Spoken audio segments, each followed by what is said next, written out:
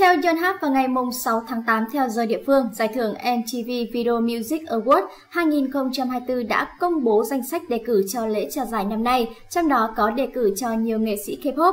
Lisa của Blackpink là nghệ sĩ K-pop có nhiều đề cử nhất. Cô giành được 4 đề cử khác nhau cho bản hit solo mới ra mắt được hơn một tháng Rockstar, gồm biên đạo xuất sắc nhất, chỉ đạo nghệ thuật xuất sắc nhất, biên tập xuất sắc nhất và ca khúc K-pop xuất sắc nhất. Ngoài ra thì vào tối ngày 6 tháng 8 trên tài khoản Instagram, nữ thần tượng K-pop Lisa cũng chính thức công bố phát hành ca khúc mới mang tên là New Woman vào lúc 7 giờ ngày 16 tháng 8 theo giờ Việt Nam. Đáng chú ý trong ca khúc này, Lisa sẽ kết hợp với nữ ca sĩ, nhạc sĩ người Tây Ban Nha Rosalia.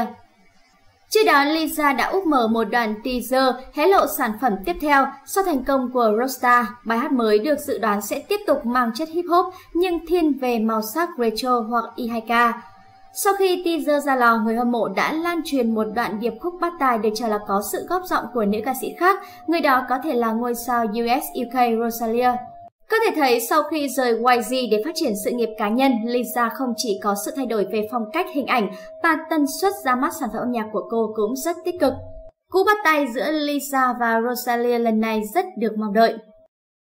Cảm ơn các bạn đã luôn theo dõi và ủng hộ Top Sao Hàn. Mọi ý kiến đóng góp mời các bạn để lại ở phần bình luận dưới video này để chúng mình có thể kịp thời trả lời nhé. Còn bây giờ, xin chào và hẹn gặp lại ở những bản tin tiếp theo.